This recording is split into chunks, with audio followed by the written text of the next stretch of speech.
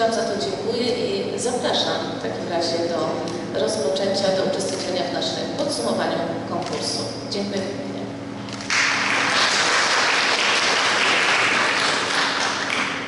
Powiatowy konkurs poetycki imienia Jana Kulisza istnieje już 15 lat.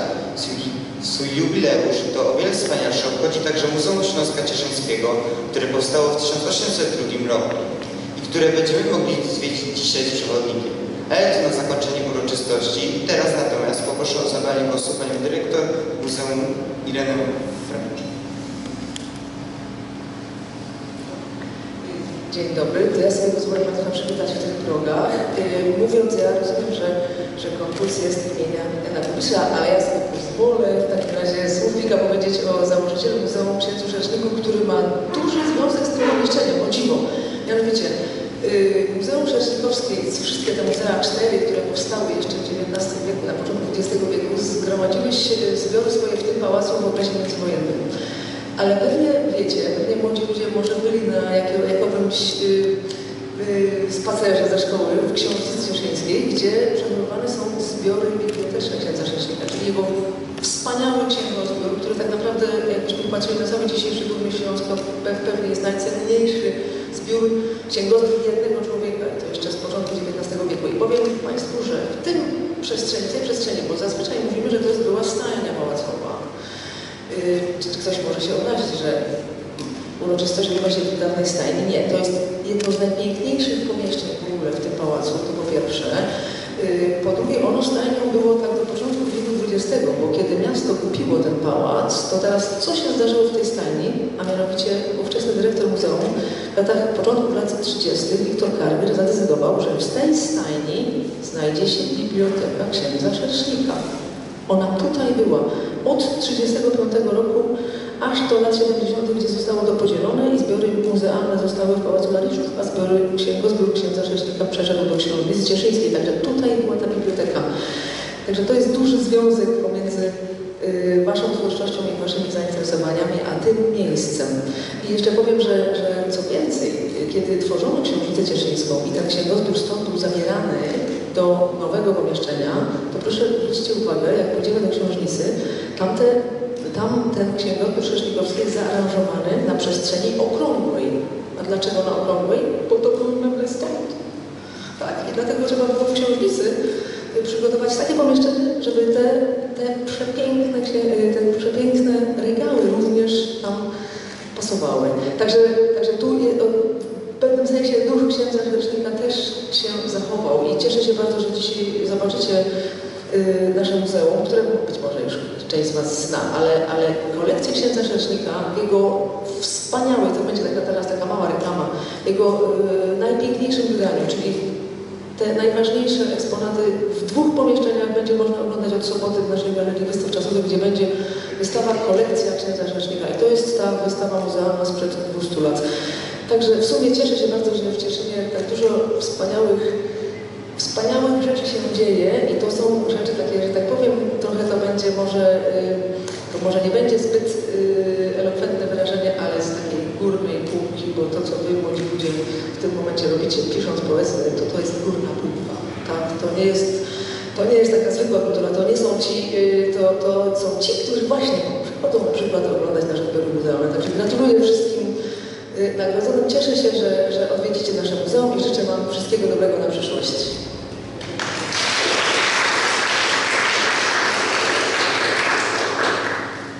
Muzeum Śląska Cieszyńskiego jest świadectwem wartości, piękna tradycji, kultury, dziedzictwa ziemi cieszyńskiej. Podobnie jak twórczość patrona naszego konkursu Jana Kubisza. Chciałbym prosić prawnuczkę Radzieckiego Mickiewicza, panią Aleksandrę Łagut-Kowalczyk, aby jako, jak co roku opowiedziała nam o swoim sławnym pradziadzie.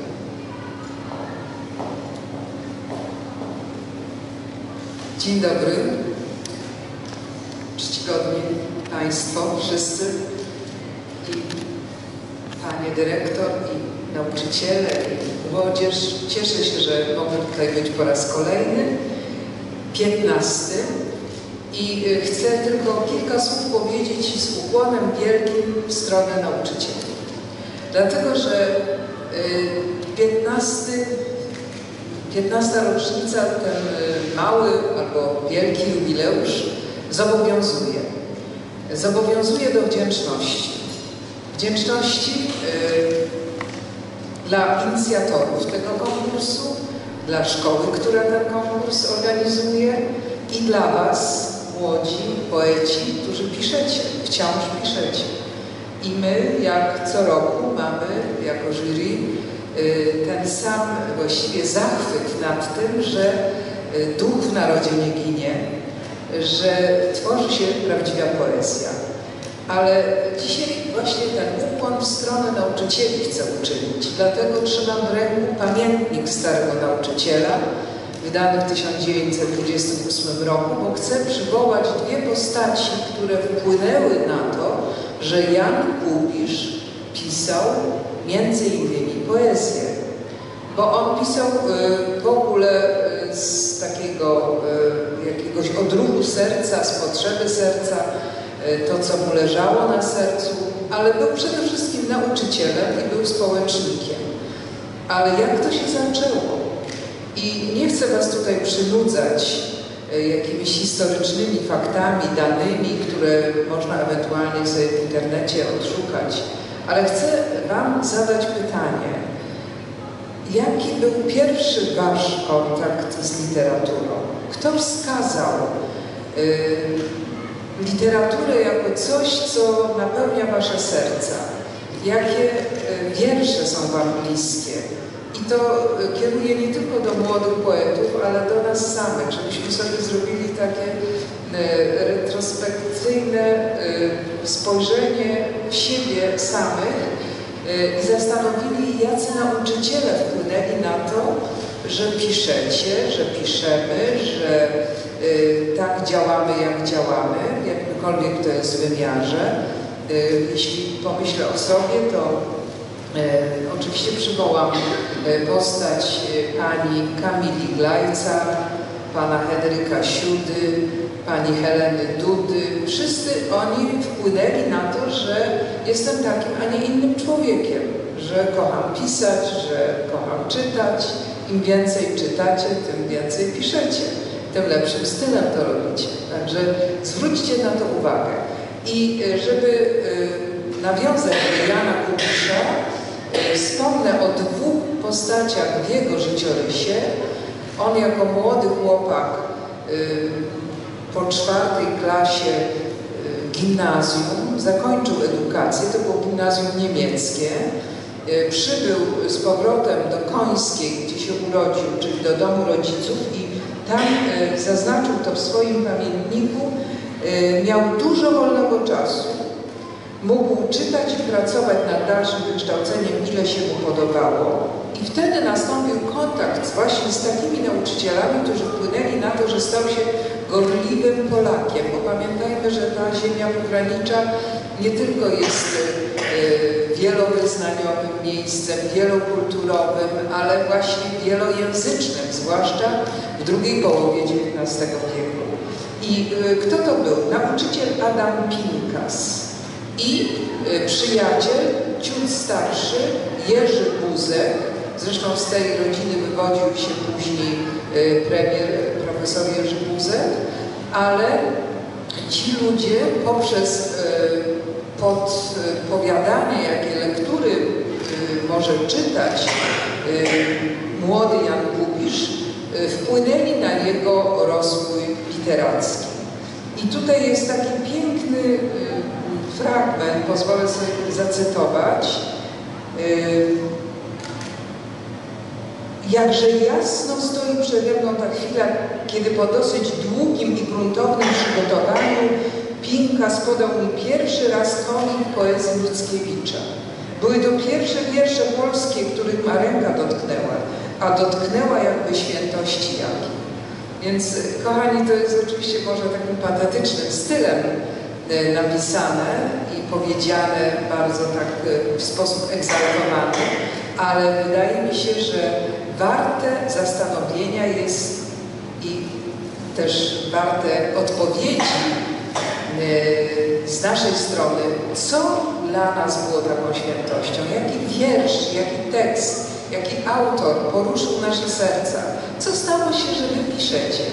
Otóż myślę, że wasi nauczyciele, tutaj widzę, my się już znamy e, z widzenia, e, bo co roku się spotykamy, wy edukujecie, moi drodzy, przyszłych poetów.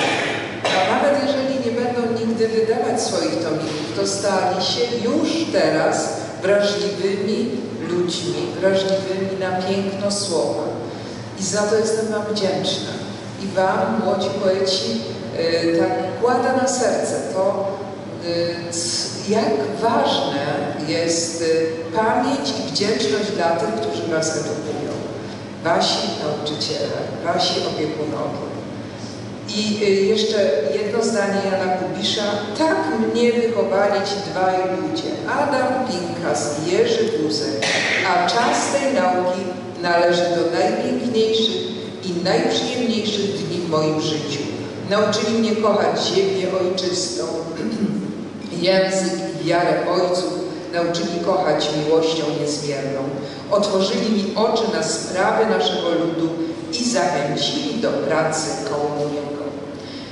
Y, temat tego 15 konkursu poetyckiego y, jest związany właśnie ze sercem, ze słowem, to wszystko jak na tapecie było też widać w Waszych tekstach, w Waszych wierszach, za co w imieniu całego jury jestem Wam ogromnie wdzięczna. Wam, młodzi, piszący i Wam, nauczyciele, którzy przygotowujecie tych młodych ludzi na przyszłe życie.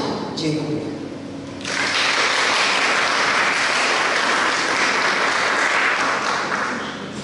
Przypomnieliśmy sobie postać Olszeńskiego Mickiewicza, jeszcze w mickiewiczowskim nastroju, posłuchajmy inwokacji z pana Tadeusza, ale w wersji śpiewanej z muzyką skomponowaną przez mojego kolegę Mateusza Wojtasa.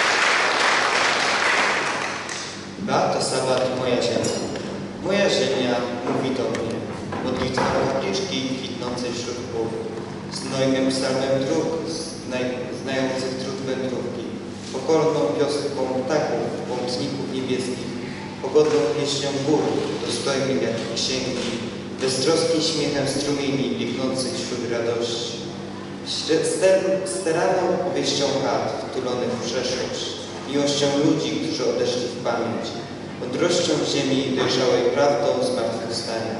Moja ziemia, ukryta w moim sercu, wciąż uczy mnie, kim jestem. Tak o ziemi cieszyńskiej napisała moja polonistka magister Beata Sabat, która 15 lat temu stała się pomysłodawczynią poetyckiego konkursu imienia Jana Kubisza. Chciałbym więc poprosić ją o wypowiedź z okazji jubileuszu. Chciałam podziękować Kamilowi Targoszowi za przeczytanie mojego wiersza i nie mogę nie wspomnieć przy okazji, że Kamil jest finalistą Wojewódzkiego Konkursu Przedmiotowego z Języka Polskiego i jesteśmy z niego bardzo dumni.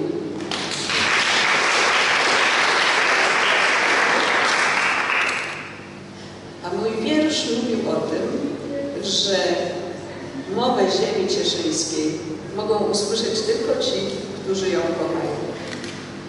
I myślę, że wszyscy tu obecni świetnie o tym wiedzą, bo ta właśnie miłość do Śląska Cieszyńskiego, do swojej rodzinnej ziemi, właśnie ona nas wszystkich łączy. Bez niej nie byłoby tego konkursu, nie byłoby tych wierszy. No właśnie, bo wśród tych wszystkich, którym bliska i droga jest rodzinna ziemia, są tacy, którzy najpierw próbują, a potem potrafią, a potem jeszcze cieszą się tym, że potrafią wypowiadać tę miłość w słowach. I chciałam Wam bardzo podziękować za to, że jesteście.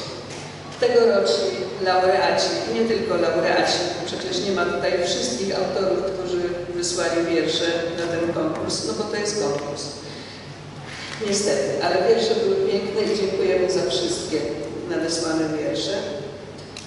Dziękujemy również tym wszystkim, którzy przez te 15 lat przysyłali swoje utwory, bo wielu było takich uczniów. No i też nie mogę nie wspomnieć, że na literackiej mapie Śląska Cieszyńskiego są takie miejsca, takie szkoły, z których co roku od samego początku konkursu, od momentu, kiedy stał się powiatowym konkursem, zawsze przychodzą przepiękne utwory. I chciałam podziękować opiekunom tej młodzieży, tych uczniów, no bo my poloniści wiemy, ile trzeba trudu, żeby odkryć w swoich uczniach to, co im w sercu gra i śpiewa, a czasami się boją o tym powiedzieć. No i żeby ich wspierać ich twórczości i żeby jeszcze się odważyli wysłać utwory na konkurs. Także serdecznie dziękuję i pozwolę sobie mm, wręczyć opiekunom z tych właśnie czterech szkół, które zaraz wymienię, wręczyć taki malutki jubileuszowy prezencik niespodziankę, takie kubeczki z magnolią, no bo cóż jest bliższego człowiekowi, jak sobie siądzie w kuchni z takim kubeczkiem i myśli o tym, co dookoła niego się dzieje, a żeby to radosne myśli i kolorowe i poetyckie, to myślę, że magnolia bardzo nastraja tak wiosennie i optymistycznie. Także może poproszę Panią Aldonę Kopiec z Zebrzydowic, Szkoła Podstawowa imienia Krzysztofa Kamila Baczyńskiego w Zebrzydowicach.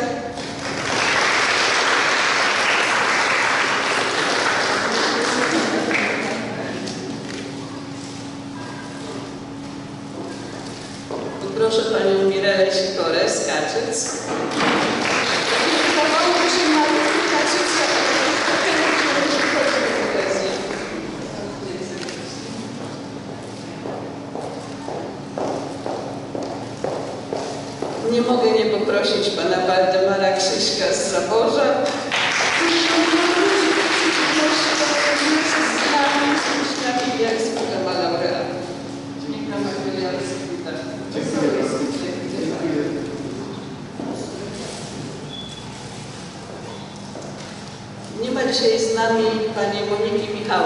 zwisternej, ale pamiętamy o niej i zamiast magnolii ma tutaj krajobrazy Cieszyna, no bo jej dzisiaj nie ma akurat. I poproszę, żeby może uczestnicę poproszę, albo mamy uczestnicę, wszystko jedno. Bardzo proszę o przekazanie Pani Monice z serdecznymi wyrazami pamięci. Cieszymy się, że co roku nowe szkoły się pojawiają, nowi laureaci więc witamy w naszym gronie poetyckim i mam nadzieję, że się jeszcze nie raz zobaczymy. Oczywiście nie byłoby laureatów, gdyby nie było jury. Jury ma zawsze trudne chwile, kiedy tak dyskutują panie długo, długo i wnikliwie nad każdym utworem i było rzeczywiście bardzo trudno poproszę Panią Przewodniczącą, najprawdziwszą prawnuczkę Jana Kubisza, która mnie wspiera od początku. I jest taki, tak, ta sala ma filar, to, to jest właśnie filar.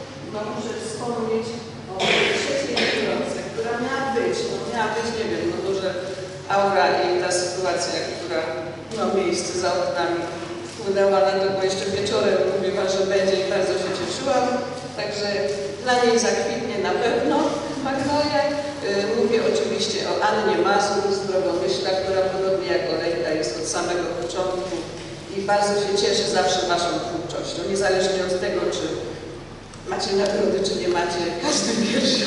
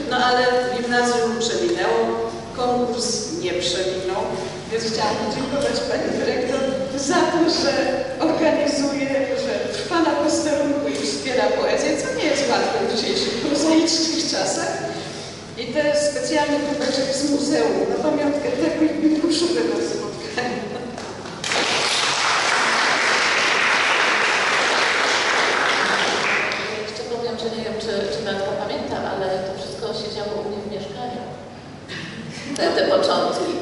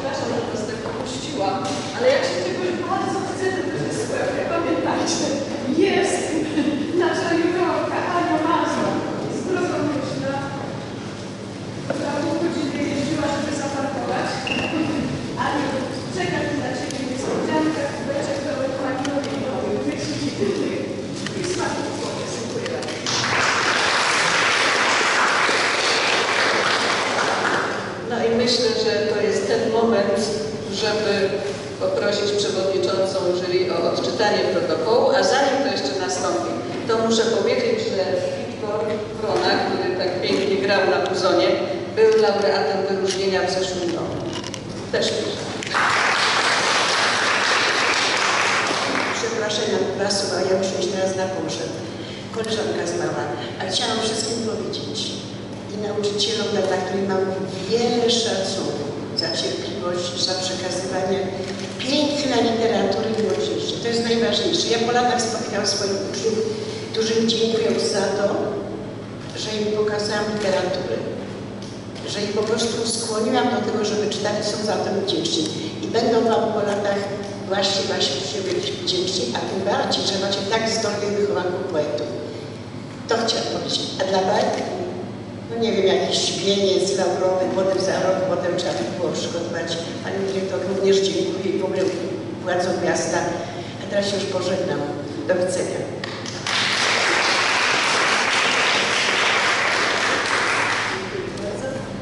I poproszę o wręczanie nagród, bo to będzie odczytanie połączone z wręczaniem nagród, na razie dla laureatów.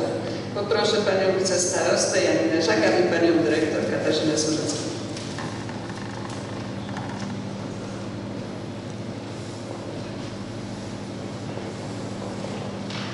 Protokół obrad jury 15 Powiatowego Konkursu Poetyckiego imieniem Jana Kubisza Ziemi Cieszyńskiej Serca i Słowa.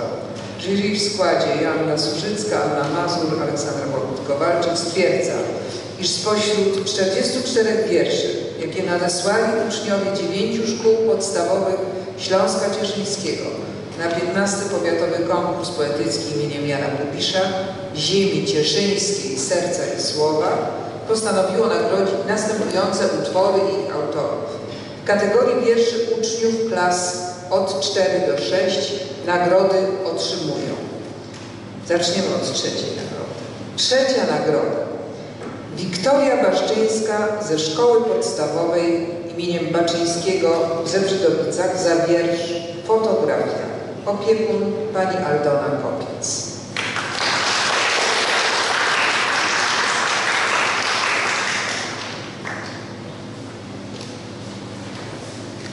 Druga nagroda. Anna Pietrzycka z Zespołu Szkolno-Przedszkolnego w Zaborzu za wiersz Ptaki Słów. Opiekun Waldemar Krzysiek.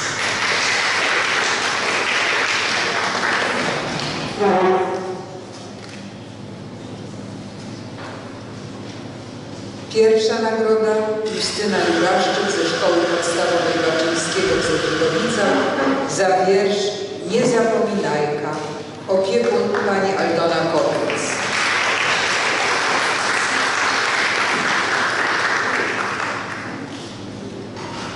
W kategorii wierszy uczniów klas 7 do 8 nagrody otrzymują. I tutaj naprawdę musiałyśmy pomnożyć te nagrody. Są cztery trzecie nagrody, dwie drugie i dwie pierwsze. Trzecia nagroda Amelia Romuska z Zespołu Szkolno-Przedszkolnego w Zaborzu za wiersz Sercem i Słowem. Opiekun pan Waldemar Krzysiek.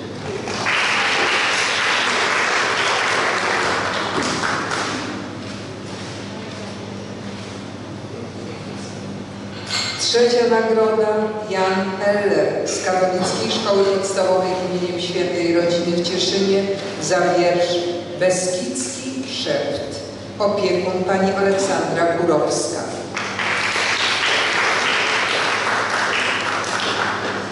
Kolejna trzecia nagroda Anna Głaz ze Szkoły Podstawowej Baczyńskiego w Zebrzydowicach za wiersz Mój dom. Opiekun pani Aldona Kopiec.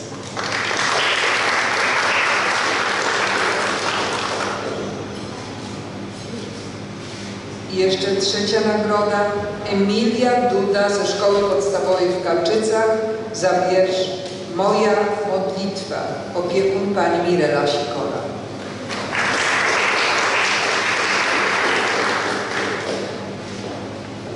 Dwie drugie nagrody. Druga nagroda Amelia Kulik ze Szkoły Podstawowej Baczyńskiego w Zebrzydowicach za wiersz Miłość do ziemi cieszyńskiej. Opiekun pani Aldona Kopiec.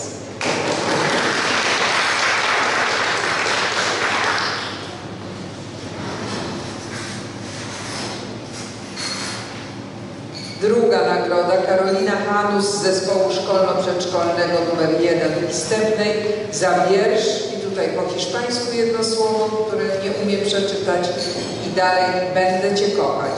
Opiekun pani Monika Michałek.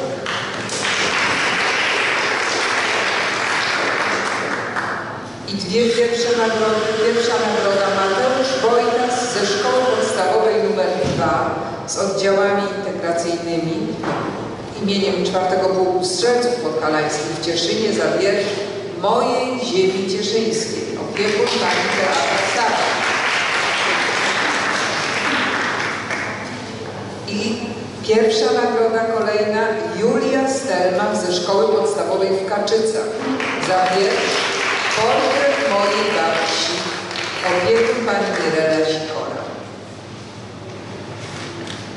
Jeszcze raz gratuluję wszystkim wykonawcom, wszystkim autorom, wszystkim opiekunom. Naprawdę przepiękne teksty i dużo, dużo przyjemności miałyśmy czytając je i oceniając. Dziękuję. Chciałam tylko dodać, że kolejność wyczytywania jest przypadkowa. To alfabetycznie było układane, bo Panie uznały, że nie będzie wyróżnień w tym roku, żeby wszyscy byli nagrodzeni tak jubileuszowo. A ponieważ wspomniałam już wcześniej o opiekunach, to poproszę Pani teraz o wręczenie dyplomów i pamiątek y, dla opiekunów. No, poproszę Aldonę Kopiec.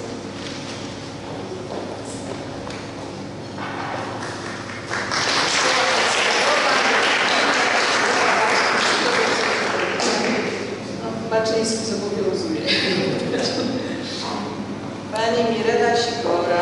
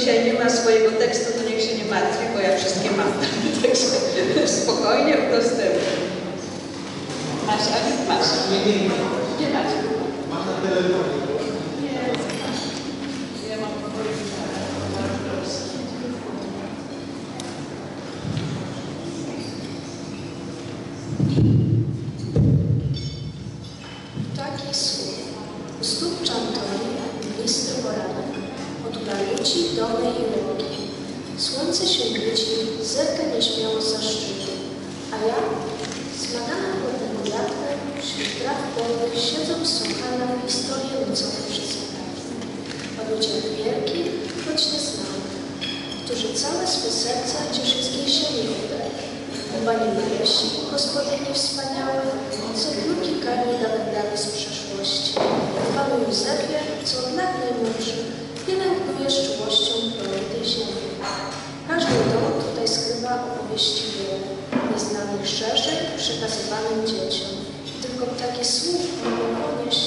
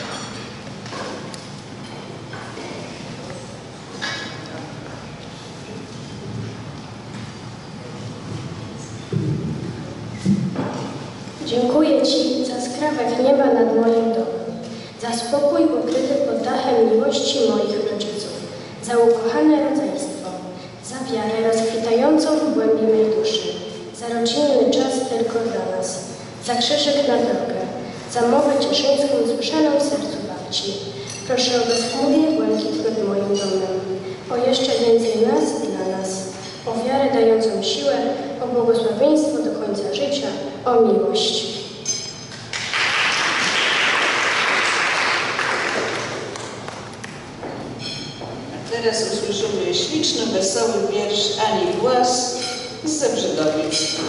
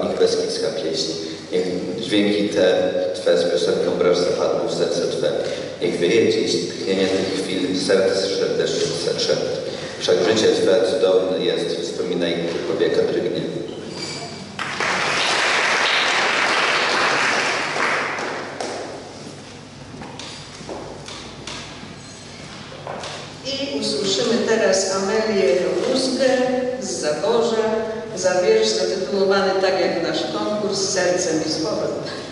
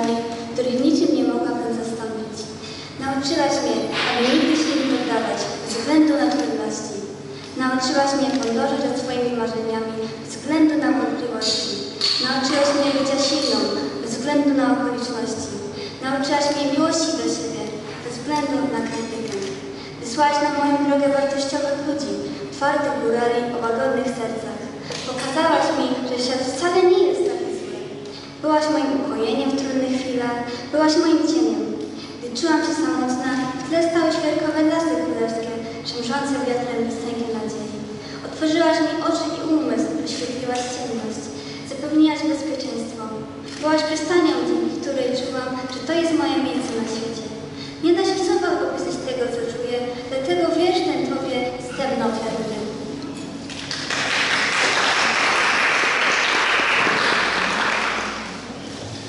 I ponownie ze Brzydowice, tym razem Amelia Kulik, która przeczyta wiersz Miłość do ziemi cieszyńskiej.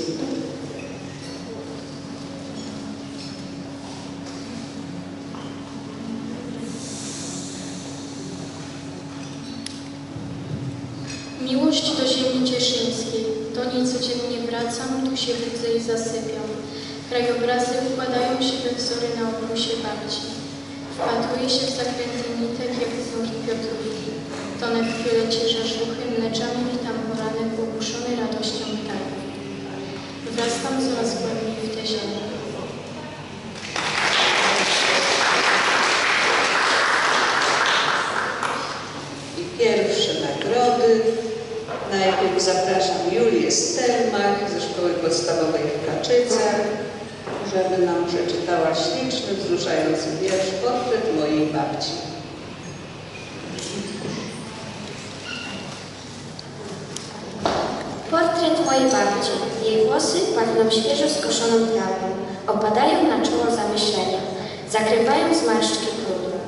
Policzki rumienią się radością nowego dnia.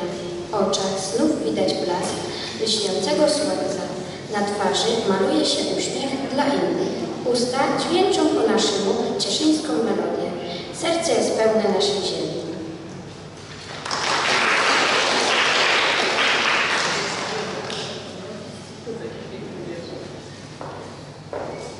No i ostatni już dzisiaj wiersz mojej ziemi cieszyńskiej, mojego Mateuszka, Mateusza, już ósma klasa.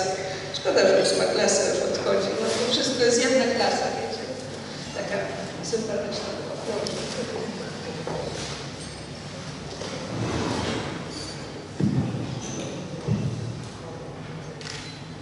Śląsk Cieszyński, ziemia moja, moje miejsce w wielkim świecie, najpiękniejsza, ukochana, drugiej takiej nie znajdziecie.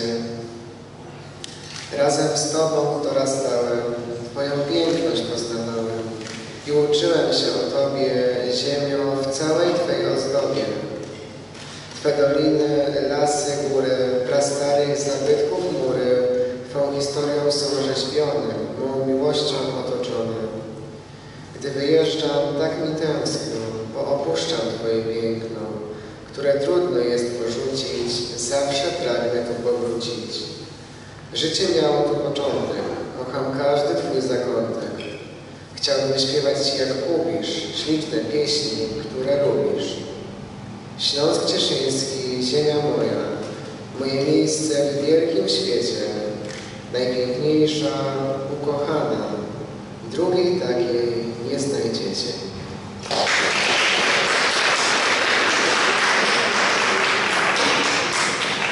Teraz będą jeszcze a potem już tylko koniec. Powoli się do niego zbliżamy.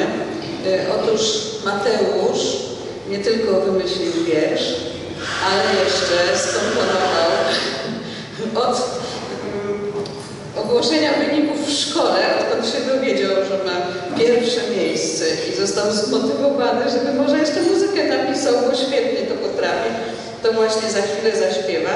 Natomiast druga niespodzianka z tajemnic pracy kolonisty, kolonistki. E, Otóż kiedy Mateusz jadąc do Warszawy tworzył ten wiersz, no to jak każda rasowa kolonistka miałam pewne sugestie, żeby tam coś zmienił, tu może coś napisał.